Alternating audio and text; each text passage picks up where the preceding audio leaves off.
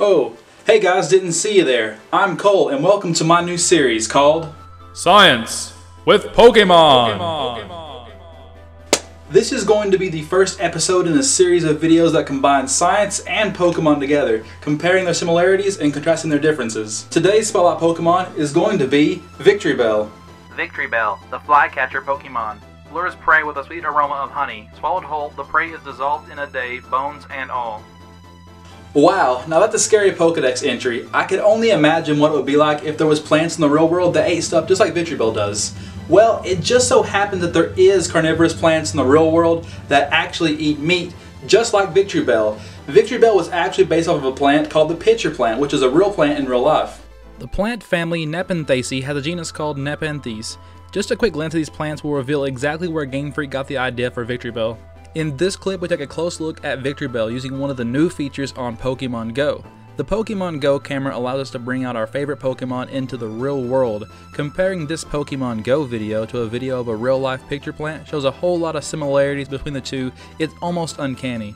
So now that we know what the real life counterpart to Victreebel is, we can start comparing the two to see if there's any similarities that Pokemon Company took into consideration when designing this Pokemon. Now can I get that Pokedex entry again? Victreebel, the flycatcher Pokemon. Lures prey with a sweet aroma of honey. Swallowed whole, the prey is dissolved in a day, bones and all. Man, imagine if carnivorous plants were the same size as Victreebel in real life. We would all be in trouble, but thankfully the flycatcher name given to Victreebel also applies to the Nepenthes plant in real life. So the reason this plant has such a huge appetite is because digesting small organisms is how this plant gets the nitrogen it needs to grow.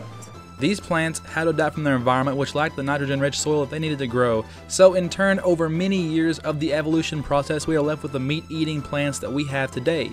Just like in the real world, Victreebel had to adapt and evolve from its earlier stages to get to where it is now. So it seems that Victreebel has a very similar diet to its real-life counterpart in the actual Pokemon games. Now I wonder what other similarities we could find. Maybe its habitat maybe we can look in and see if we can find what environment suits Victreebel the best. One of Victreebel's previous evolutions, Bellsprout, holds the key to helping us find the most suitable conditions for our carnivorous Pokemon friend. The Pokedex clearly states that in different generations that Bellsprout prefers hot and humid places or environments. Alright, so now that we have an idea of what conditions make our meat-eating plant happy, let's go on over to the real world and see what kind of environment the real-life counterpart to Victreebel has going for it. Whew and it seems very similar out here. Most pitcher plants are found in Southeast Asia, in countries like the Philippines, India, and Vietnam. Most of these countries lie on or near the equator, meaning that region is going to be very hot. But how about humid? Well, these areas are often covered in dense jungle with annual rainfall that can be more or less than 60 inches, making it very humid in this area, making this a very perfect location for our favorite Caterpie eating Pokemon.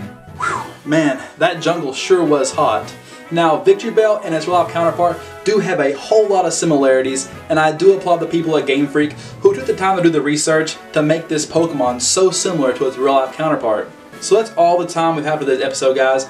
If you liked the video, please leave a like and let me know. If you've learned something, comment down below. Tell me what you've learned for a chance to be featured in the next episode of Science with Pokemon. Pokemon. Hey guys, I want to hit this time just to celebrate and thank the Patreon supporters that I have on my screen right now. Wait, what is that? No. Actually, I don't have any Patreon supporters. Or is it that I don't have any Patreon supporters yet?